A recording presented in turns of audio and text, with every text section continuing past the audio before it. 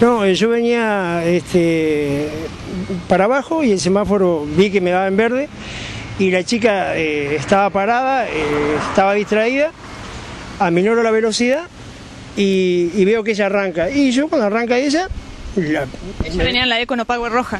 eh, sí, yo la desvío por el costado, por la izquierda, la desvío y la paso.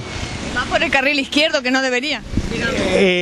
Ella iba medio por la mitad del, por la derecha en principio. Claro, venía, venía por la mitad. Y agarro yo, y bueno, la paso y, y voy pasando y, y paso y me, me iba, pero y vi por el espejo que, que alguien se azotó. Y yo dije, y al ver que la chica no venía atrás mío, yo dije, la chica, ¿qué pasó? Y frené y me paré y ¿Se enganchó su moto con su auto? eh, me enganchó la puerta trasera, ahí se ve el rayón.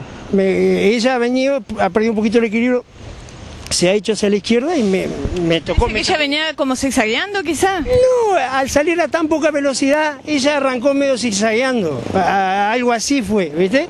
Y en un momento me, se te ha para el costado, se, no, no, perdió el equilibrio, se, se ha ido un poquito para el costado.